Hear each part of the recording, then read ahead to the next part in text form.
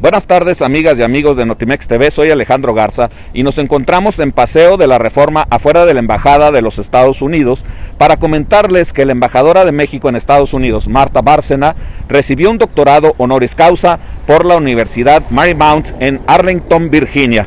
La universidad la reconoció por su trayectoria académica y diplomática y en una ceremonia virtual se realizó la graduación de la generación 2020 y la diplomática llamó a los jóvenes a no dejar de estudiar y aprovechar las oportunidades. Amigas y amigos, soy Alejandro Garza y los invito a que sigan conectados aquí a través de Notimex TV. Buenas tardes.